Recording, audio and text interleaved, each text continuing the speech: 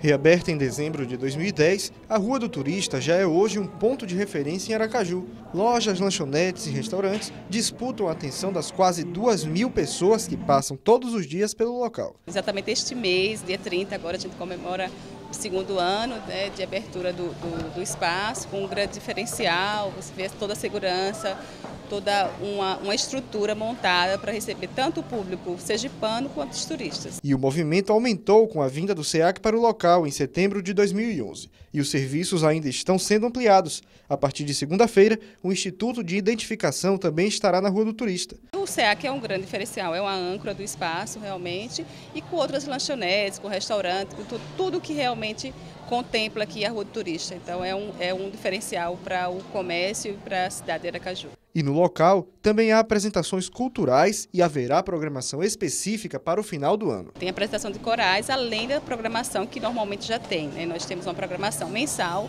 que é organizada previamente, com prestigiando os artistas locais e com um espaço totalmente assim, é, aproveitando todo o espaço que tem para a cultura sergipana.